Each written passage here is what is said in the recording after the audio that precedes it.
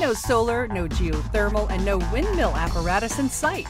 So, how can this house being built in a suburb of Washington be green? Because the passive house focuses on reducing your energy demand to the absolute minimum.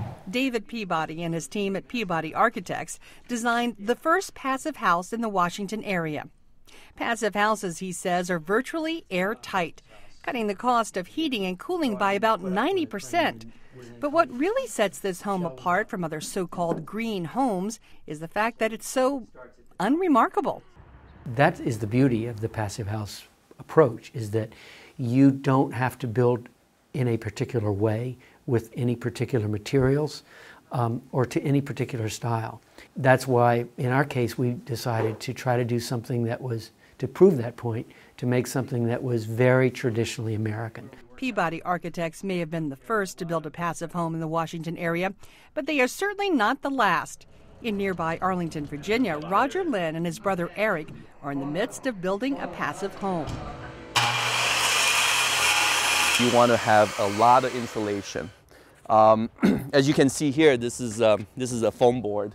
There's a, it's a two inch foam board.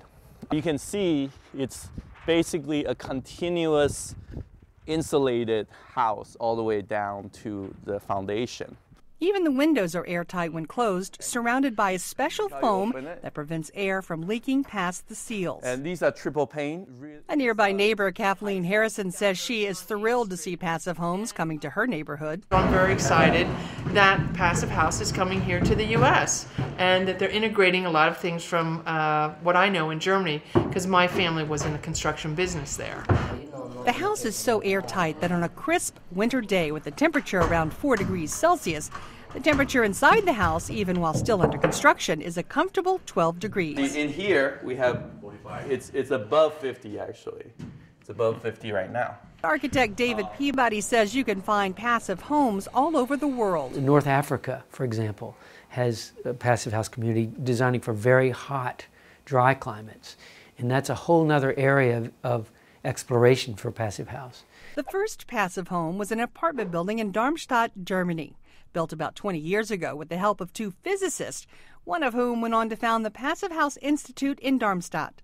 They developed a methodology and they developed a uh, energy modeling software that people like me can use uh, who don't who are not physicists. Despite some of the specialized materials used in construction, like precast concrete panels, the ventilation system, or the prefabricated insulated board, the total cost of building a passive home is only about 5 to 8% higher than a traditionally built house. But a passive house uses only 10% as much energy as a conventional home, savings that can offset the initial investment relatively quickly. Rebecca Ward, VOA News.